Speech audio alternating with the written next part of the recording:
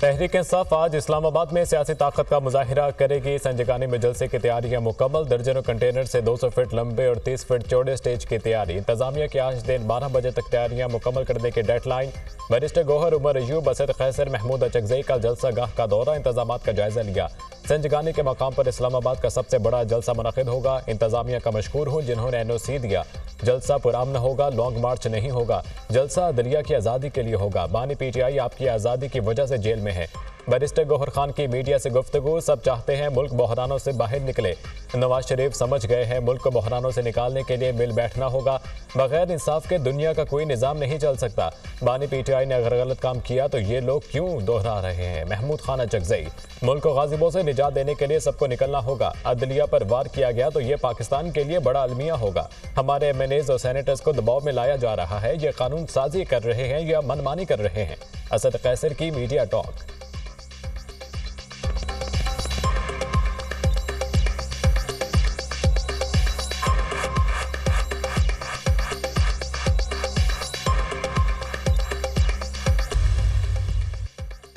PTI जलसा विफाकी police ने इस्लामाबाद के मुखलिफ दाखिली रास्ते बंद कर दिए। जीटी रोड को संजगानी के मकाम पर कंटेनर लगाकर बंद कर दिया गया। रवात में टी चौक पर भी कंटेनर्स पहुँचा दिए गए। एक्सप्रेस हाईवे, कहना पुल के मकाम पर कंटेनर्स लगाकर बंद। एक्सप्रेस हाईवे की बंदिश से गाड़ियों की लंबी कतारें लग गईं। शहरियों को शदीद मुश्किल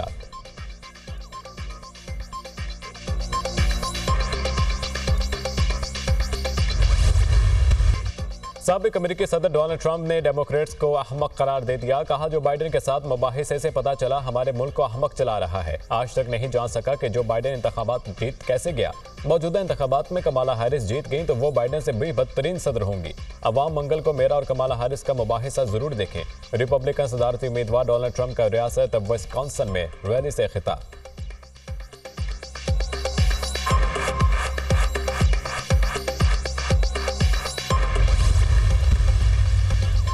सदर ममलिकत आसिफ जरदारी ने विफाकी दारकूमत में जल्द से जुलूसों को रेगुलेट करने से मुतल बिल पर दस्तखत कर दिए।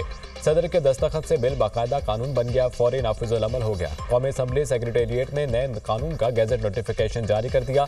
कानून को पुरान इज्तम अमन अमा का नाम दिया गया। बिल के तहत विफाकी दारकूमत इस्लामाबाद में जल्द से जुलूसों को रेगुलेट किया जाएगा। बगैर इजाज़त और सिक्योरिटी क्लियरेंस के कोई जलसा नहीं होगा।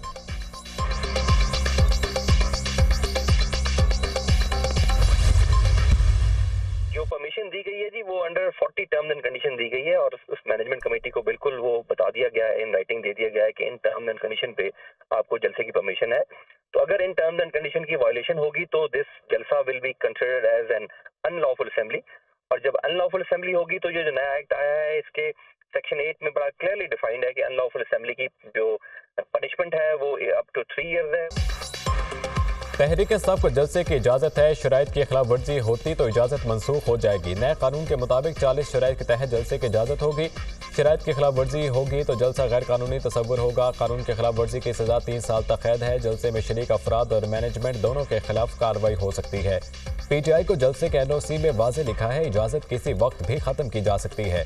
डिप्टी कमिश्नर इस्लामाबाद इरफान नवाज़ मेमन की दुनिया न्यूज़ से खसूसी गुफ्तु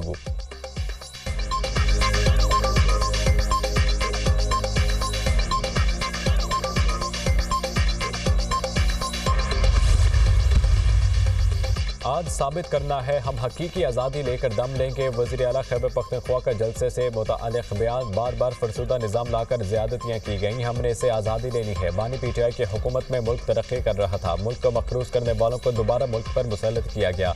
मुल्क में बेरोजगारी बदमनी की जिम्मेदार मौजूदा हुकूमत है। आगे क्या लाहेमल होगा, जलसे में तय करेंगे। वजी अला अमीन गंडापुर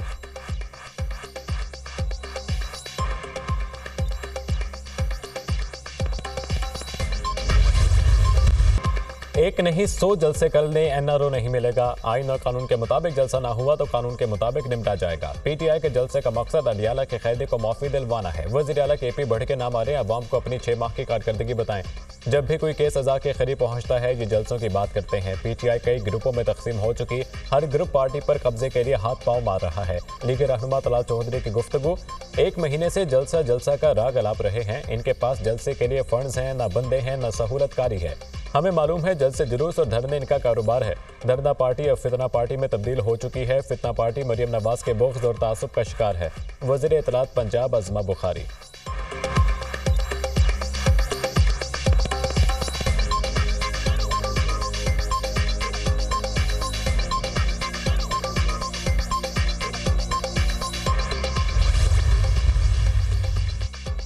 बानी पीटीआई ने 190 मिलियन पाउंड केस में रिलीफ मांग लिया। बानी पीटीआई के नैब तरामीम फैसले के तहत बरियत की दरख्वास्त दायर। नैब तरामीम फैसले के बाद 190 मिलियन पाउंड का केस बनता ही नहीं। नैब तरामीम का फैसला आने के बाद दरख्वास्त गुजार बरी होने का हकदार है। नैब तरामीम में काबीना के तमाम फैसलों को तहफ़ हासिल है। नैब तरामीम की रोशनी में दरख्वास्त गुजार के लिए सजा का कोई इम्कान नहीं। रेफरेंस की कार्रवाई एक दिन के लिए भी जारी रखना कानूनी अमल का गलत इस्तेमाल है। दरख्वास्त में मौकफ सवाल यह है कि नैब तरमीम के बाद एहतसाब अदालत का इस केस में दायरे अख्तियार बनता है या नहीं? अदालत के दायरे अख्तियार का फैसला करना अदालत के सवाबदीद है, वकील बानी पीटीआई के दलाइल। अदालत के इस केस में दायरे अख्तियार है तो फिर बरियत की दरख्वास्त सुनी जा सकती है। नैब प्रोसिक्यूटर, दरख्वास्त पर एहतसाब अदालत के जज नासिर जावेद राना ने नोटिस जारी कर दिए समात दस सितंबर तक मुलतवी।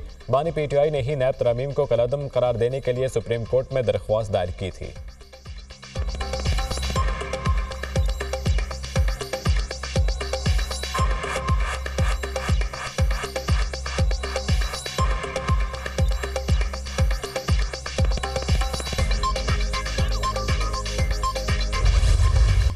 परवेज इलाही को पीटीआई का सदर बनाया गया, मगर वो खामोश हैं। सहाफ़ी का शाह महमूद कुरैशी से सवाल, अडियाला में परवेज इलाही और मैं इकट्ठे थे। इनकी तबीयत वाकई ख़राब थी।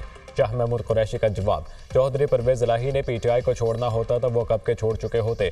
परवेज इलाही बानी पीटीआई के साथ खड़े रहे और मुसीबतें भी बर्दाश्त की। सबक वजी खारजा शाह महमूद कुरैशी की कमर अदालत में सहाफ़ियों से गैर रस्मी गुफ्तु परवेज इलाही को गुजशत साल मनी लॉन्ड्रिंग और तरक्याती कामों के ठेकों में करप्शन पर गिरफ़्तार करके अटक जेल मुंतकिल किया गया था। चौधरी परवेज इलाही को रवा साल मई में कोट लखपत जेल से रिहा किया गया।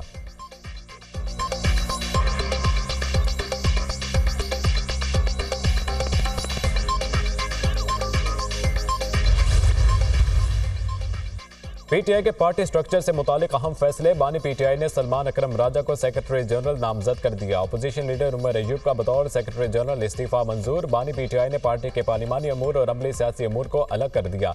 अपोजिशन लीडर उमर अयूब और सेनेटर शिबली फराज पार्लिमानी टीम को लीड करेंगे।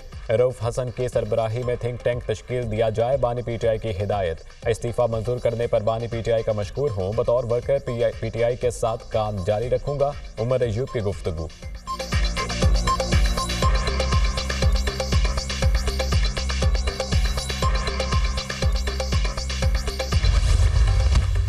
पाक बहरिया के जंगी जहाजा शमशेर और हैबत का मुतहदा अरब अमारात का दौरा। मुतहद अरब अमारात बहरिया के आला अफसरान और पाकिस्तानी सफारत खाने के हुकाम ने इस्तेमाल किया। मिशन कमांडर के कमांडिंग ऑफिसर्स के साथ मेज़बान आला अस्करी कायदे से अहम मुलाकातें। बाहमी दिलचस्पी के पेशा वराना अमूर और दो तरफा बहरी ताउन पर तबादला ख्याल किया गया।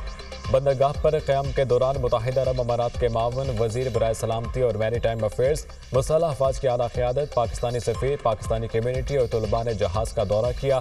दोनों ममालिक के बहरी जहाज़ों ने मश्तर बहरी मश्क, नसल अल बहर में भी हिस्सा लिया। मश्क का मकसद दोनों बहरी अफवाज के दरमियान बाहमी ताउन को बढ़ाना और ऑपरेशनल तैयारियों को बेहतर करना है।